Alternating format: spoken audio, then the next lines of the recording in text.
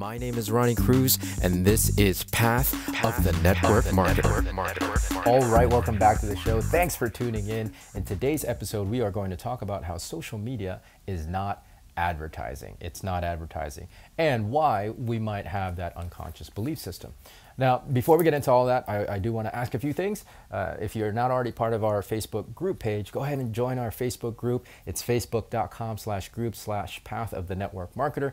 Um, another, another resource for you where we can continue our discussion outside of the show, outside of the podcast. I'll leave the link in the show notes of this episode. The next thing I'd like to ask is if you're not already following the show, go ahead and hit that plus button so you can follow the show. Um, we're, we're on our way to 100. We're very close to hitting that 100 milestone, 100 episode milestone and I'm going to be sharing a lot of stuff with you, so you're not going to want to miss a single thing. Make sure you're following the show. And then last uh, but not least, share the show. Share the show. If you find value in today's content and in the content of any of the other episodes, please share it. Chances are somebody else will find value in it as well. So, and well, you'll also be doing me a huge solid, right? Like we're not actively at, at, at this point in the game. We're, we're not actively marketing or advertising the show. Um, so it would be helping us out. But again, primarily, if you find value, if this show is helping you out on your journey, well, chances are it'll help somebody else, right? Like, like let's help more people score more wins. Um, share the show, take a screen capture, uh, post that in your stories, and you can tag me if you want. It's uh, Cannibal Ron on Instagram and Ronnie Cruz 11 on Facebook. Okay, social media is not advertising and why we might think that why we might have why we might have that unconscious belief system. Uh, i think especially if you're my age if you're from from the generation where tv and radio are still a thing um, we have uh, definitely a notion of advertising and marketing um, that was in well yeah that was that was because the result of um, the advertising and marketing that we see on uh, TV and and radio, and of course print and, and other other kind of mediums, but primarily TV and radio. It, the the idea is the notion of marketing is getting your products and services in front of as many eyes as possible because that's what that's what TV and radio was, right?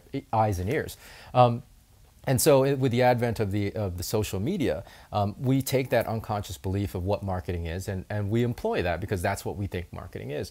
Um, social media, unfortunately, is not that. It's not that. It's a whole different ball of wax. Yes, we can think that you know we're getting um, our products and services in front of as many eyes as possible by just posting and blasting our products and services on our feeds, but it's largely going to be ineffective, y'all. Yes, it can get help you get exposure, but your conversion rates are going to be pretty low. Uh, social media conversion rates are low in the first place, right? Um, there's there's number one, the attention span of social media consumers is so short, and number two, there's so much content that gets uh, published every day that you're you know I mean it's uh, you're you're you're a blip on the radar and you're fighting uh, tooth and nail to, to get attention and, and it's largely it's largely not going to work right so conversion rates are low and then you add to that how you're how you're promoting and marketing your your products and services by just blasting it out there again, largely, largely ineffective. If they have no reason to stop um, their scroll, with uh, if, if your post and the content that you're publishing doesn't give people a reason to stop their scroll,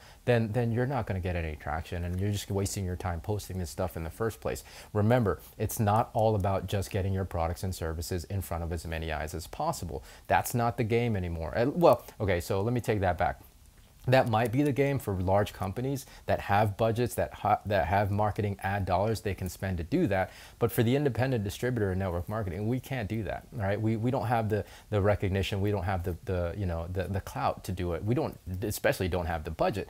And so you have to build that right? You you have to build that that asset with your social media. You have to build um, well it's it's got to be a more curated uh, more intentional and purposeful uh, co content publishing right? You got to develop an identity. You got to develop a presence. And that's the only way that people will start liking you, people will start trusting you because social media is all about building that influence. And so once you build that influence, if you build it well and you build it strong and, and, and you develop that relationship with your audience and your following, then the stuff that, that you post about your products and services will be much more effective. It'll be much more effective than just blasting um, you know, a piece of, of, of, content that, that shows your products and services, the, the, the features and benefits of those things um, every day. It's, it's really not going to be not going to be very, very very effective.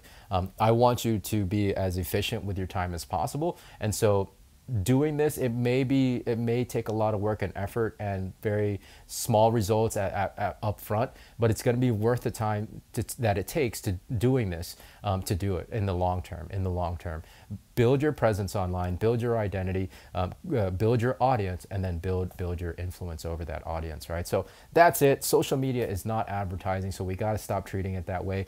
Stop spamming, your feed with your products and services, and and develop develop that identity that people really want to want to connect with and listen to, and stop their scroll for. So more from me tomorrow. Uh, lots to come. Again, we are on a journey to 100, so make sure you tune in. Until then, be well, be safe. We'll see you in the next episode.